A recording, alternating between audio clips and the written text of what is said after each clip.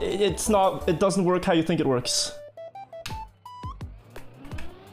It throws your car so weirdly and unpredictably.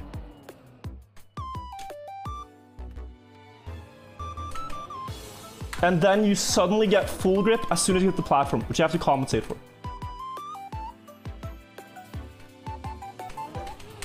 Okay.